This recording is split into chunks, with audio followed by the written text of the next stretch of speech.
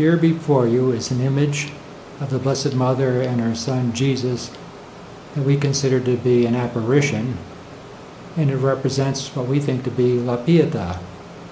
It's an ancient shell from 10 to 12,000 years of age that was found in Los Concheros de Monagrillo that many consider to be possibly the oldest pre-Columbian site in the Americas. The shell was found by my wife, Sheila Shays, who is here and will describe briefly what the meaning of the shell is to her, to you, and to the world. To wait.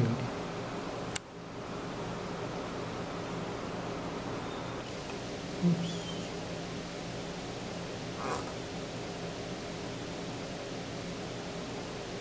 Okay. I am Sheila Lichacz, and I am an international painter. And little did I know that I have been, in a way, probably chosen to carry this, to find this beautiful, beautiful shell from the famous Concheros de Monagrillo, which is supposed to be one of the oldest pre-Columbian sites in North and Central America, and probably, maybe in South America. And it is wonderful, and it has appeared to me, but not only that, many, many more shells have appeared to me with the face of the Blessed Mother. And I have them, and I want to share them with the world.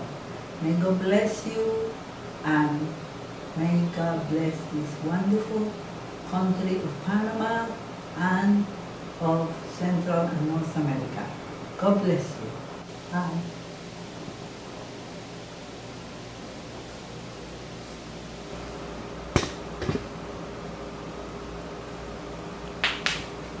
Again, this ancient shell was found on the 22nd of March 2014.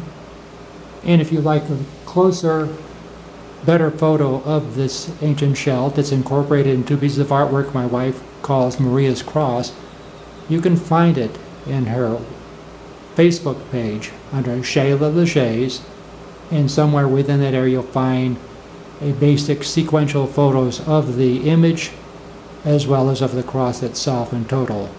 May God bless you, take care of you, and Happy New Year.